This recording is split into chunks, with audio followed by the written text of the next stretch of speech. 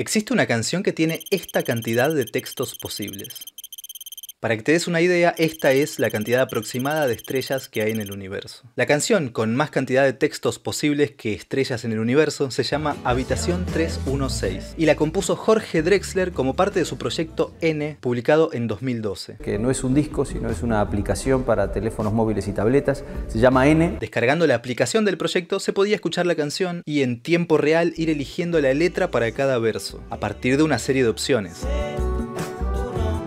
Así, una vez terminada la canción, habrías escuchado una versión única. O bueno, existe una posibilidad, pero de repente una posibilidad en cientos de miles de millones de que repitas alguna vez una de las de, los órdenes de las letras. Perdiendo la cautela sin un solo punto de contacto.